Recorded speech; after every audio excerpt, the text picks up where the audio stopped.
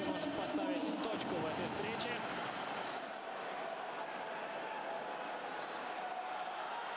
Раскачал Шарыченкова и красивейше шайбу забросил.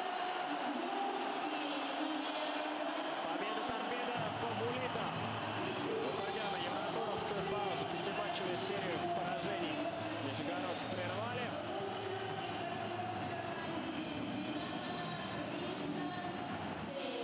Шарыченков, несмотря ни на что, лучший игрок в составе «Динамо» по итогам сегодняшней встречи.